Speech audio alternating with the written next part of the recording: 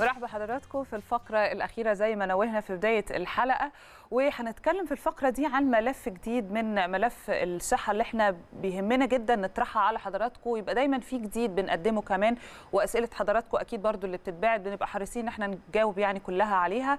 لكن النهاردة الموضوع غريب شوية لأن مش كل الناس عارفة هذا الموضوع حتى أنا نفسي ما كنتش أعرف إن الموضوع مرتبط. هنتكلم عن الارتباط القوي جدا ما بين السمنة والصداع.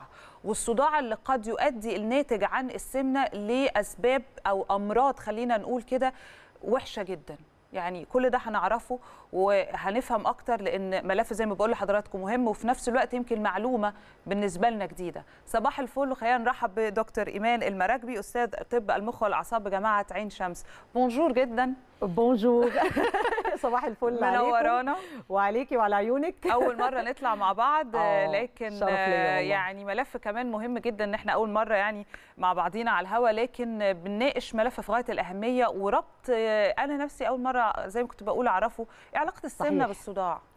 آه، بصي بقى يا ستي أول حاجة السمنة دايما آه، الحاجة اللي فيها سمنة تزود لي ضغط المخ. يعني أنا لو مريضة عندها آه، سمنة تبصي تلاقي آه، ممكن جدا يحصل لها زيادة في ضغط السائل النخاعي بتاع المخ. okay سبحان الله. okay. يبتدي إفراز السائل النخاعي يزيد والتخلص منه يقل. يبقى يعمل لي إيه؟ يعمل لي زيادة في ضغط المخ من الآخر. آه. زيادة في ضغط المخ يبتدي يعمل لي إيه؟ تشوش في الرؤية.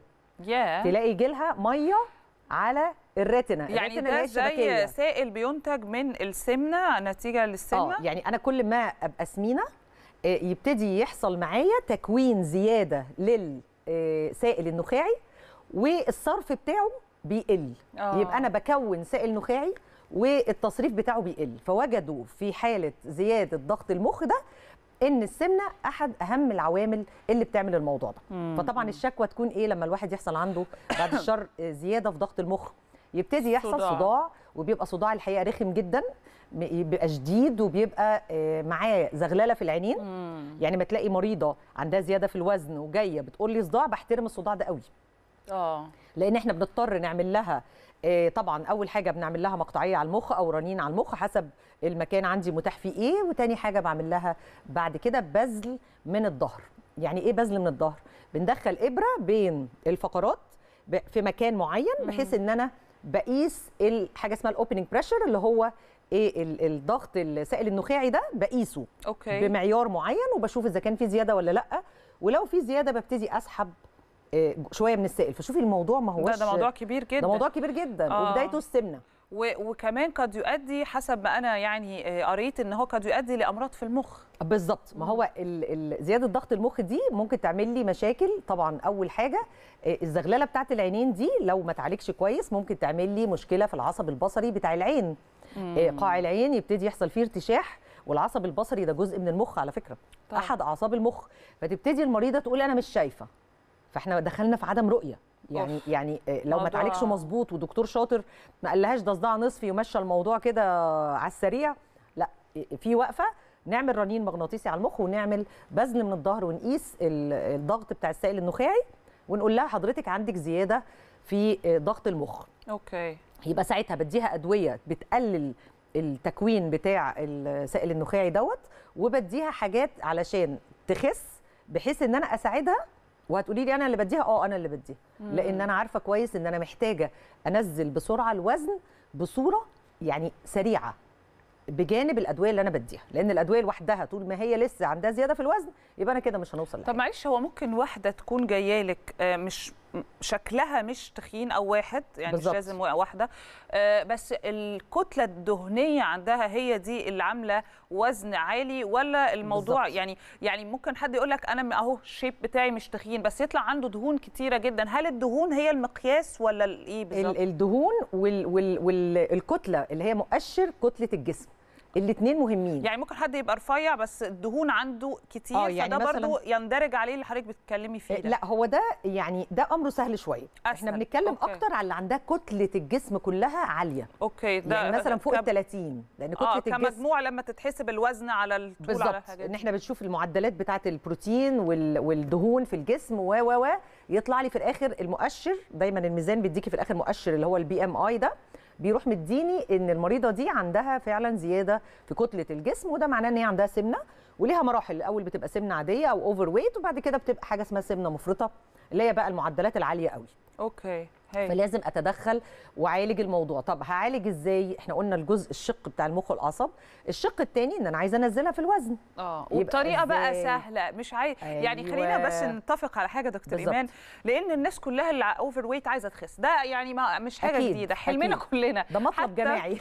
آه يعني جماهيري. حتى لما بالظبط. بنزيد 2 3 كيلو برضو بتبقى عايز تخسهم. فمن صحيح. 2 3 كيلو لغاية 50 60 وأكتر. okay؟ بالظبط بالظبط. فأنا دلوقتي عايزة وصفة أو عايزة طريقة أو عايزة حل من دكتور إيمان بحيث إن أنا أقولها للناس الناس اللي عايزة تخس ومش ملتزمة في الجيم وما بتعملش حركة وما عندهاش آه، نظام أكل صحيح. صحي يعملوا إيه؟ بالظبط. ودي في حالة السيدة اللي إحنا بنتكلم عليها اللي عندها برضو زيادة في ضغط المخ يندرج عليها اللي حضرتك قلتيه. طبعا. لأن في البداية لو أنا عندي سمنة مفرطة أو أنا عندي سمنة ببقى صعب إن أنا أتحرك وأروح جيم أنا ممكن لو رحت جيم ولعبت آه، على treadmill مثلا ممكن يحصل لي مشكلة في الركب. مم. يتقطع الرباط الصليبي الحاجات دي مشهورة جدا.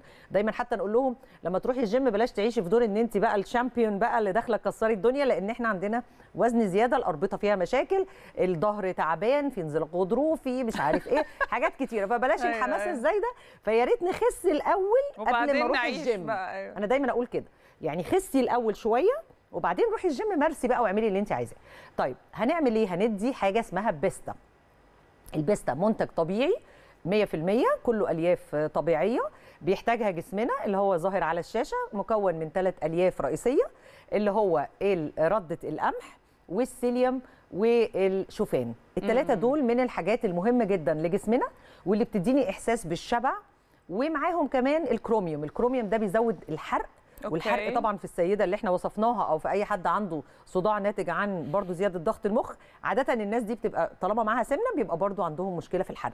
فالكروميوم ده بيزود لي الحرق. حلو قوي. يبقى إذا المنتج آمن اللي هو البيستا آمن جدا جدا جدا مفيش أي خطورة منه. ممكن نديه من سن الأطفال على فكرة من سن 13 سنة فما فوق.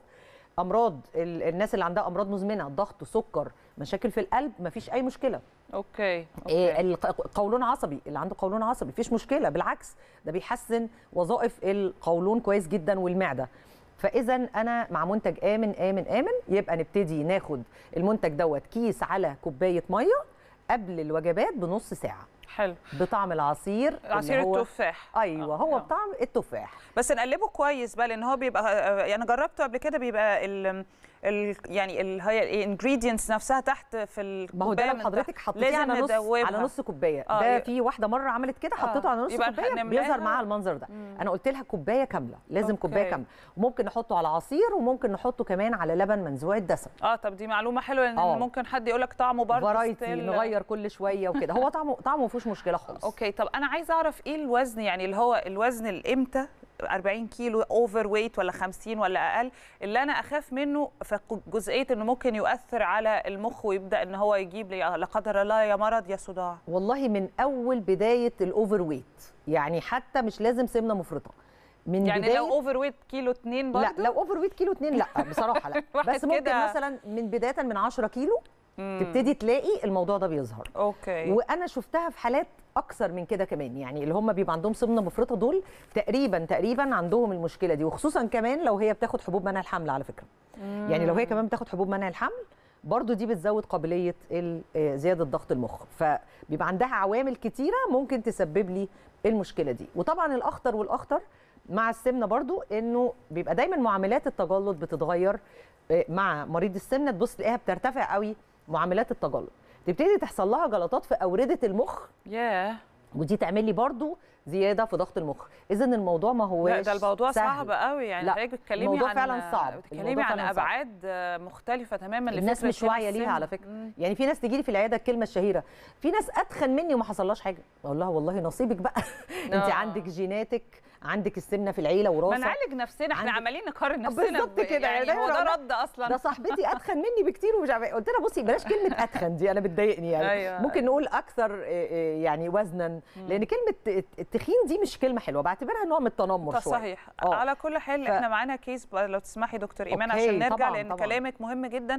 نشوفه بقى عملي أو بالظبط. تطبيقه على الأرض case معانا اللي هي أو مريضة يعني أو مش مريضة أصل يعني خلينا نقول case إسراء إسراء جربت هذا المنتج بيستا وهي هتحكي لنا إيه اللي حصل معاها. خلينا نتابع.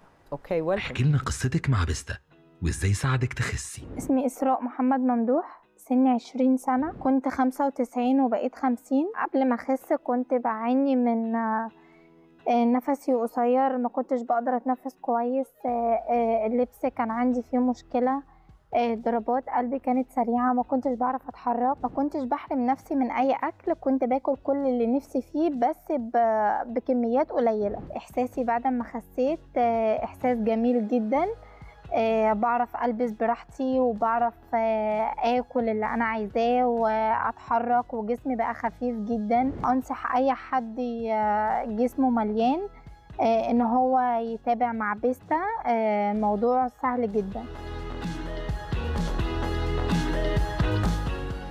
من 95 ما شاء الله. ل 50 ما شاء الله واو. فعلا يعني بجد ده يعني. من غير تدخل جراحي من غير أدوية بتؤثر على المخ من غير أدوية تؤثر على ضربات القلب بالظبط أهي دي بالظبط عاملة زي إيه حضرتك لابسة أبيض وأسود آه هي دي أبيض وأسود يا يا يا سمنة يا إما ايديال ويت. بالنسبة لطولها. مش مش لابسة رمادي زيي يعني أنا الرمادي إيه ده إحنا ما شاء الله مجمعين كل حاجة آه يعني إحنا أبيض وأسود ورمادي أنا بحب الأبيض والأسود ده على أساس إن هو.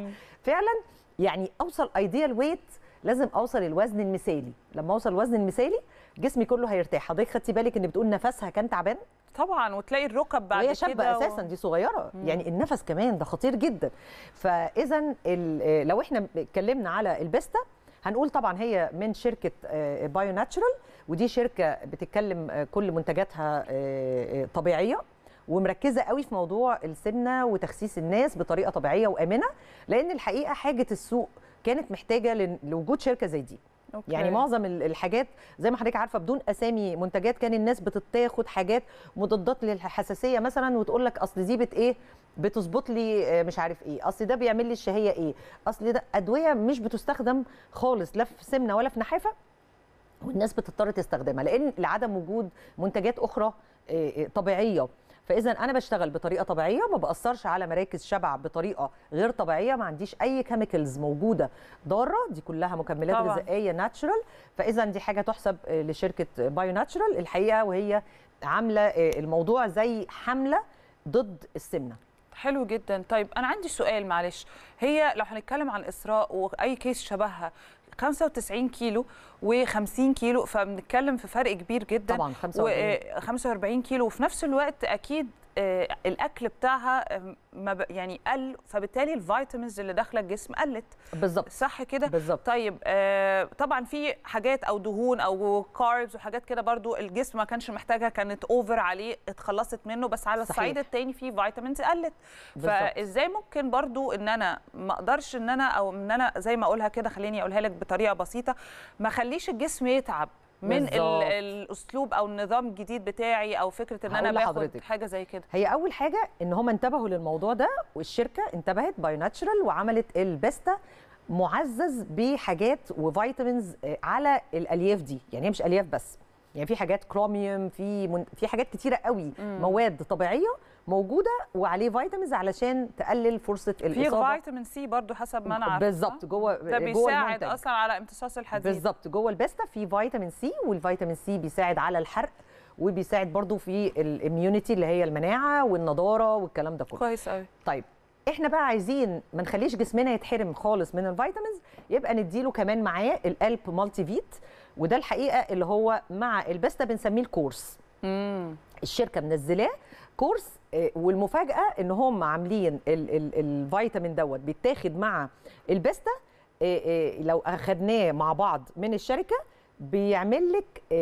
يعني اسبوعيا متابعة مجانية على التليفون يعني حد لما- اللي بيكلم ال client ولا بالظبط. ولا ال client اللي بيتكلم الكلاينت ال client once إن هو اخذ اشترى ال- ال course. اشترى المنتج دوت اللي هو ال course على بعضه البيستا والألب مالتي فيت بيعملوا له على طول متابعة أسبوعية لنزول الوزن ولا بيدفع حاجة دي مجانية. okay. وبيشوفوا ال target بتاعه إيه بيشوفوا الامراض المزمنة اللي عنده إيه إيه المشاكل اللي عنده تحتاج تتظبط زي مثلا غدة درقية و و و يعني أي حاجة موجودة عنده السكر الضغط أي حاجة يظبطوا له الدنيا مع دكاترة أو يقولوا له ينصحوه يروح فين وفي نفس الوقت هم اللي بيعملوا التغذية على أعلى مستوى. okay هايل. متخصصين مش كده يعني ناس call center بقى ما لهمش في حاجة لا دول دكاترة تغذية متخصصين ودي الحقيقة الشركة الوحيدة اللي عملت كده لأنه بت بتحافظ على فلوس المريض إن هو ما يقعدش يروح يعمل diet عند دكاترة طيب، والمتابعة. كذا والكلام ده كله. لو جينا قارنا آه، بيستا بالعمليات اللي هي الجراحية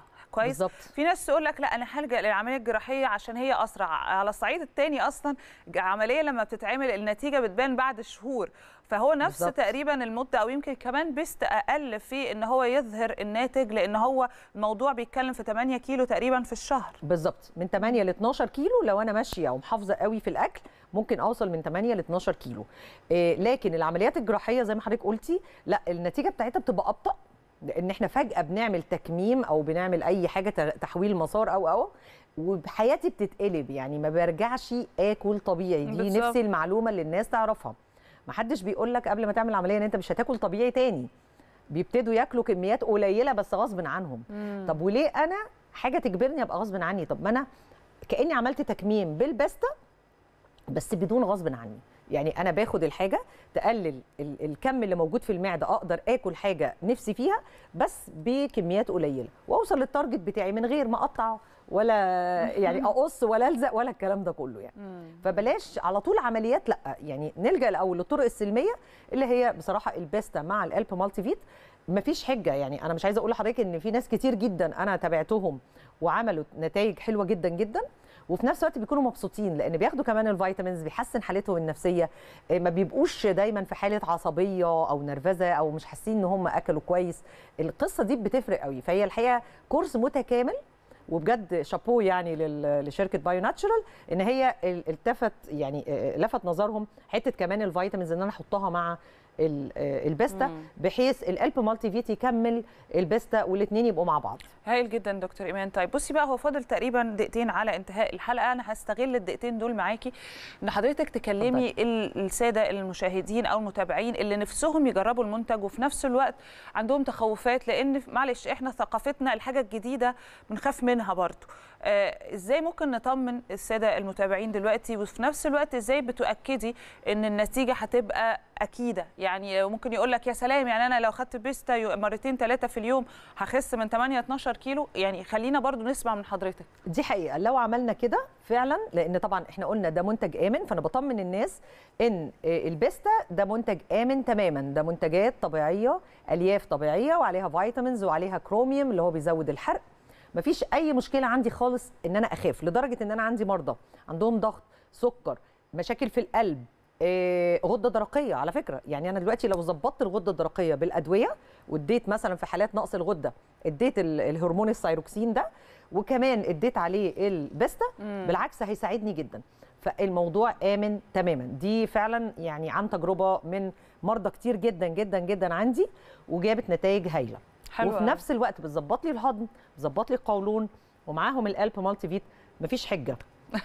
يعني, بجد هنقول إيه تاني يا. جماعة؟ هنقول إيه؟ مفيش حجة. إن- اللي عايز يخس هيخس. وفعلا. الأمراض كلها منشأها السمنة. حقيقي. آه عايزه أقول لحضرتك وقلنا الكلام ده الأسبوع اللي فات السمنة من أحد الأسباب الأساسية واللي الريت بتاعها عالي في الموت. قد تؤدي بالظبط. إلى الوفاة حقيقي فيا ريت آه، الموضوع ما نسيبوش إن هو يوصل لهذه المرحلة أكيد ما حدش فينا حابب إن هو أو حد من صحيح. اهله يصل لهذه المرحلة خصوصا إن إحنا في الفترة الأخيرة كمان بقينا نشهد سمنة عند الأطفال فدي بالظبط. حاجة مش مؤشرة أو مش مؤشر جيد ابدا دكتور إيمان على كل حال نورتينا ربنا يخليك ولسه. حت... إن شاء الله هتكوني معانا في حلقات أخرى لأن ملفاتنا لسه مستمرة وما إن شاء بتخلص الله، يعني إن شاء الله أشكرك. جدا على متابعتنا وبشكر حضراتكم كمان على متابعتنا في 10 الصبح في الأهلي وهذه الفقرة الطبيه نشوفكم في حلقة جديدة و10 الصبح. مع السلامة.